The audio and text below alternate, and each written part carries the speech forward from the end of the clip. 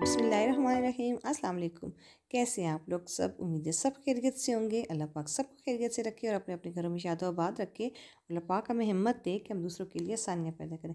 ये जो रास्ता देख रहे हैं आप मेरे स्कूल से घर का वापसी का रास्ता है।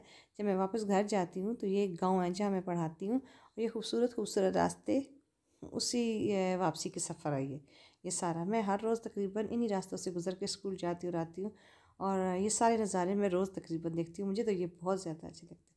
अच्छा जी, ये जो आप लोग देख रहे हैं एक सरप्राइज़ बच्चों ने मुझे जो है वो किया है, सरप्राइज़ मुझे किया है, क्योंकि मेरी बर्थडे थी और मुझे नहीं पता था कि मेरी बर्थडे को ये ऐसे सेलिब्रेट करेंगे। खैर, बड़ों की क्या बर्थडे होती है बड़े बूढ़ों की, हम तो अपने आप को बड़े और बूढ़े ही कहते हैं, बच्चों की बर्थडे होती है और अच्छा भी लगता है। अगर बच्चों की खुशी में आपको पता है खुश तो होना पड़ता है। अल्लाह पाक सब के बच्चों को सलामत रखे और ज़िंदगी सेहत दे। मेरे बच्चों ने भी इसी तरह सरप्राइज़ किया अपने कज़न के साथ मिल के मुझे। ए, मुझे कह मेरी थोड़ी सी बीपी का मसला बन जाता है कि मेरा बीपी हाई होता है ना। तो बच्चे कहते हैं कि मामा प्लीज़ आप जाएँ बाबा के साथ और बीपी चेक करवा लें अपना। मैं बीपी चेक कराने के लिए गई तो मेरे हस्बैंड ने मुझे इधर उधर दो तीन शॉप्स कुछ चीज़ वगैरह लेनी है या तुम थोड़ी सी फ्रेश एयर में रहोगी तो ठीक हो जाओगी ना? तो थोड़ी देर टाइम से ज़्यादा, मुझे शक तो थोड़ा सा पड़ा कि मुझे घर क्यों नहीं लेके जा रहे, लेकिन मुझे नहीं पता था कि ये मुझे इसलिए मतलब रोक रहे हैं यहाँ पे। स्पेशल थैंक्स मैं अपने बच्चों का कहना चाहूँगी कि अपनी कज़न के साथ मिलकर उन्होंने कितना अहतमाम किया। और ये मेरी बेटी का फ़्रॉक है, जो मैंने मुझसे उसने एमरजेंसी में बनवाया। मामा प्लीज़ मुझे बना दे। मुझे नहीं पता था कि ये सारी चीज़ें जो हो रही हैं, वो मेरी बर्थडे के लिए हो रही हैं। तो और ये वीडियो भी उसने ख़ुद बनाई। मामा प्लीज़ मेरी ये फ़्रॉक का बताइएगा मैं मैंने कहा अच्छा ठीक है।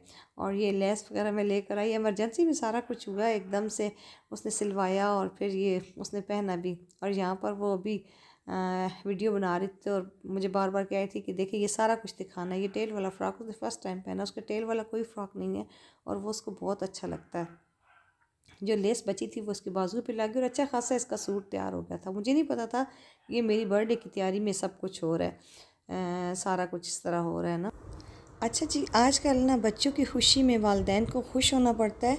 क्योंकि बच्चे जो करते हैं, मैं तो कहती हूँ अपने वालदेन को खुश करने के लिए करते हैं और ये छोटी छोटी खुशियाँ होती हैं जो हम लोगों को ज़रूर इन्जॉय करनी चाहिए। हम सोचते रहते हैं कि कल क्या होगा या फिर माजी में रहते हैं, नहीं रहते तो हम अपने हाल में नहीं रहते। प्रेजेंट में कोई बंदा भी नहीं रहता, बस अपनी माजी की या गलतियों को, ताइयों को और इन चीज़ों को लेकर टेंशन करता रहता है कि मैंने ये किया है, ऐसा नहीं हुआ है। तो और या फिर वो मुस्तबिल की टेंशन में रहता है कि फ़्यूचर में मैंने ये करना है, मैंने ये चीज़ बनानी है फ़लाँ चीज़ मेरे पास नहीं होगी फ़लाँ मेरे पास ये चीज़ नहीं है। मैं तो कहती हूँ, ये छोटी छोटी खुशियों को इन्जॉय करना चाहिए। अगर कोई ऐसी बात हो, बच्चे सेलिब्रेट करें माँ बाप चाहे कितनी भी टेंशन में हो तो उनके साथ मिल करना वो थोड़ा सा टाइम इन्जॉय कर देना चाहिए। ना जाने कल हमारे बच्चों पर कैसा टाइम होगा, और वो हो सकता है वो परेशान हो, खुश हो और हम लोग ना हों उनमें तो मैं तो कहती हूँ कि इन्जॉय ज़रूर करना चाहिए। अच्छा ये मेरी बेटी ने मुझे परफ्यूम गिफ्ट किया है, पापा के साथ गई है वो बाज़ार में। तो कहती है, मैं ये आपके लिए लाई हूँ। अच्छा मैं इतनी मैं कुछ चंद परफ्यूम इस्तेमाल करती हूँ। तो ये उसने मुझे दिया और मैंने इतनी, मैं इतनी खुश हुई हूँ कि मुझे वाकई ये बहुत अच्छा लगा है। बाकी बच्चों ने भी, किसी ने क्या, किसी ने क्या, मुझे अपनी, उनके मुताबिक मुझे गिफ्ट किया है ना। तो मुझे बहुत अच्छा लगा है, बहुत ही ज़्यादा मुझे उनकी ये खुशी अच्छी लगी है। हाँ, हम लोग अपने बच्चों को खुश देखना चाहते हैं ना कि हमारे बच्चे खुश रहें उनके चेहरे हमेशा मुस्कुराते रहें।